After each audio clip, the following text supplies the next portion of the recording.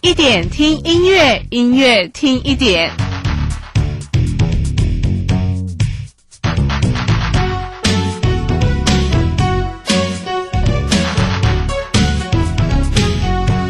听一点音乐。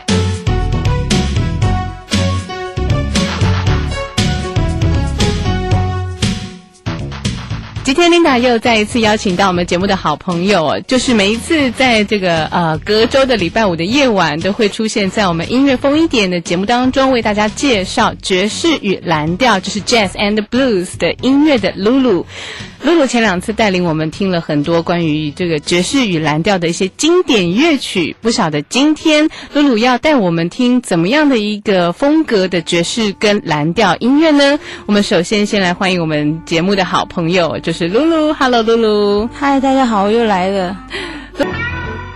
这是露露带给我们欣赏的蓝调之王 B B King，还有他的吉他 Lucy 所共同歌曲。那么接下来露露要带我们欣赏的第二首 Blues 是，应该是照你的习惯，这首歌应该是比较 Fashion 的歌曲喽。对，我现在介绍新一代 Generation 的这个是意大利歌手，这意大利歌手也是我们网站里面的成员啊，他是呃 Joe Caruso，嗯，呃，因为他是外国人，所以他受到美国人。很强烈的鼓励，因为美国人他们也希望本土之外能发展他们蓝调的文化，所以呃有一个女性 DJ，我们里面团员有个女性 DJ 是堪萨斯的，她就曾经鼓励这位说，蓝调要唱的大声，而且唱的很骄傲，嗯才行，嗯，所以他的节奏是因为比较强烈，嗯哼，比较强烈，适合意大利的年轻歌手，因为意大利人本来就属于拉丁情人型，他们陈述感情的方式没有那么内敛，所以他们喜欢直接表达，当然。也是因为如此，蓝调走向欧洲之后，带动了欧洲整个流行乐曲的那个曲风出来。嗯哼，嗯哼，是，所以这首歌曲它应该也就融合了那个有点诶南欧的风味吗？呃，是他们直接表达，可是他们的乐器，这个乐器是因为它走向节奏蓝调里面去了。嗯。节奏蓝调就是比较强烈，强烈，然后节奏蓝调再走过去就变成流行曲风了，就会变就更热闹。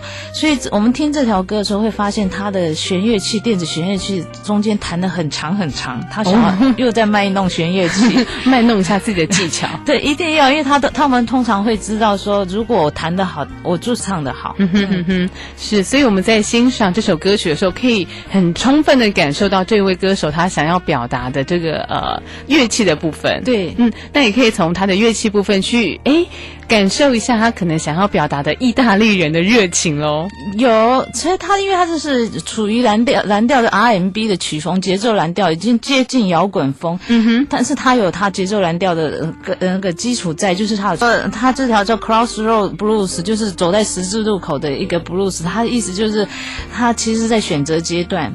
那种选择感情的阶段，可是他不像那那个蓝调乐这么内敛，而且压抑，嗯，他是直接吼出来的，直接把情绪叫出来。是，所以我们可以从他的呃歌声当中、乐器的演奏当中，感受到那种很直接释放的情绪，直接释放，所以容易引起年轻人的共鸣。那会很摇滚吗？已经你可以听到摇滚的的曲风在里面了。哦，有一点影子在那里了，嗯哼，很强烈的影子。好，那么我们现在就。马上来欣赏，呃，这一位新一代的蓝调歌手 Joe Caruso 他所带来的 Crossroad Blues。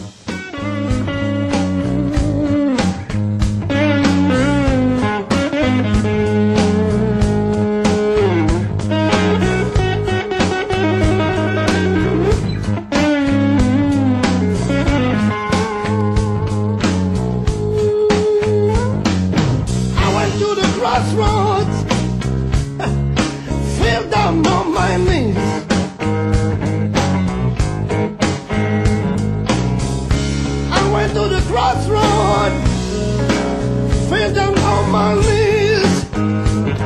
Hey. Let's get the mercy now. Up if you please. Standing at a crossroads, to find.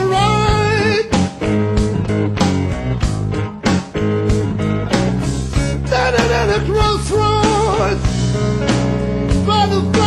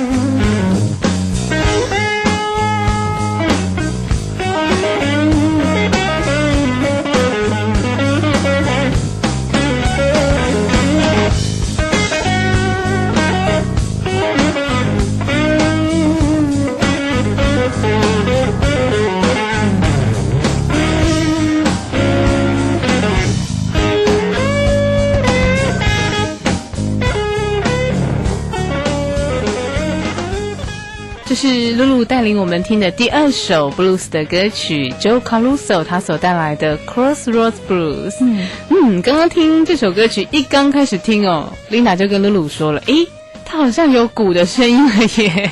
对，因为他这个已经走向摇呃这首歌曲的同时哦，我们要感谢我们的好朋友露露，今天又带了这么多丰富的歌曲到我们的节目当中，跟我们听众朋友来做欣赏。那么我相信露露也有很多诶感谢的话，想要跟你的朋友来感谢一下吧。就是 Thank you the Joe Caruso my friend and the TJ Sullivan Thank you for your help Thank you very much Talk you soon 我们也非常感谢他们提供露露这么多好听的音乐，也才能让我们的听众朋友们在空中享受到这些 jazz and blues 的音乐。同时，再一次谢谢我们的露露，谢谢 Linda 谢谢露露。接下来，请继续收听《塞门狂想曲》，晚安喽，拜拜。